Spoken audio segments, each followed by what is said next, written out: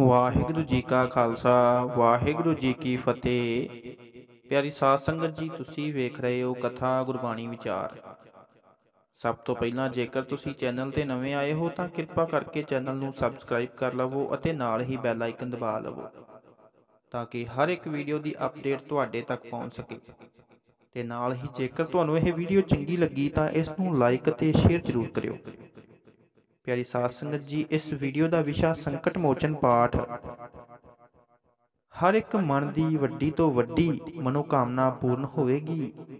ਜੇ ਕੋਈ ਵੀ ਕੰਮ ਤੁਹਾਡਾ ਸਿਰੇ ਨਹੀਂ ਚੜ ਰਿਹਾ, ਤਾਂ ਪੰਜਵੇਂ ਪਾਤਸ਼ਾਹ ਦਾ ਇਹ ਸ਼ਕਤੀਸ਼ਾਲੀ ਪਾਠ ਜੋ ਅਨਮੁੱਲੀ ਦਾਤ ਬਖਸ਼ੀ ਹੈ, ਉਸ ਨਾਲ ਜੋ ਤੁਹਾਡਾ ਕੰਮ ਸੋਚ ਤੋਂ ਪਰੇ ਹੈ, ਉਹ ਵੀ ਹੋ ਜਾਏਗਾ। ਇਹ ਪਿਆਰੀ ਸਾਧ ਸੰਗਤ ਜੀ, ਸ਼ਬਦ ਤੁਸੀਂ 21 ਦਿਨ ਜਪਣਾ ਹੈ। 108 ਪਾਠ ਰੋਜ਼ ਜਪਣੇ ਹਨ।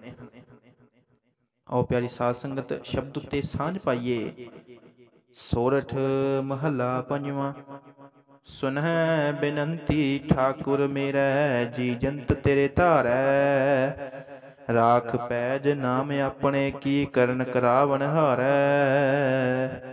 ਪ੍ਰਭ ਜੀਓ ਖਸਮਾਨਾ ਕਰ ਪਿਆਰੇ, ਬੁਰੇ ਭਲੇ ਹਮ ਥਾਰੇ ਰਹਾਉ। ਸੁਣੀ ਪੁਕਾਰ ਸਮਰੱਥ ਸੁਆਮੀ, ਬੰਧਨ ਕਾਟ ਸਵਾਰੇ।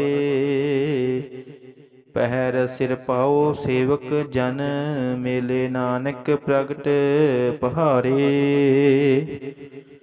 ਸੋਰਠ ਮਹਲਾ ਪੰਜਵਾਂ, ਸੁਨਹਿ ਬੇਨੰਤੀ, ਠਾਕੁਰ ਮੇਰੇ, ਜੀ ਜੰਤ ਤੇਰੇ ਧਾਰੇ।